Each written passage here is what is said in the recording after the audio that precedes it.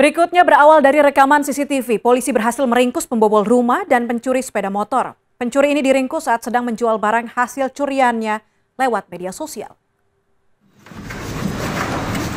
Pelaku pembobol rumah di Jalan Muhammad Nur, Kota Tanjung Balai, Sumatera Utara, ditangkap unit Reskrim Polsek Datuk Bandar. Pelaku dibekuk di sebuah warnet pada hari Minggu saat sedang menjual barang hasil curiannya melalui media sosial.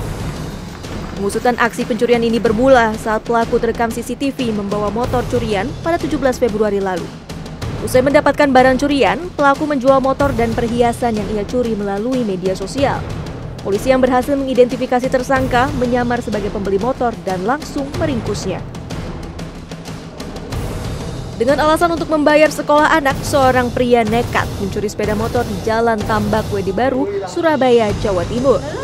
Tersangka yang berboncengan bersama rekannya mengincar sepeda motor yang diparkir di tepi jalan dengan kondisi kunci motor masih terpasang. Namun aksi tersangka gagal karena terpergok korban. Pelaku pun ditangkap warga dan polisi yang sedang berpatroli, sementara rekannya melarikan diri dan meninggalkan motor curiannya.